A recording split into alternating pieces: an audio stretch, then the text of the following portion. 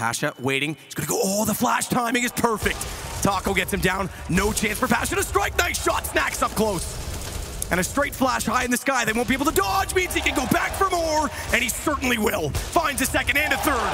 Snax on fire. What a shot! As he picks up a fifth for Virtus Pro to close the half. That's what we needed from Snax. Fire the team back up. It's 10-5, but after that sort of round, they'll be right back into this one. Certainly still a winnable half. It was a beautiful display of Counter-Strike there from the SK side. But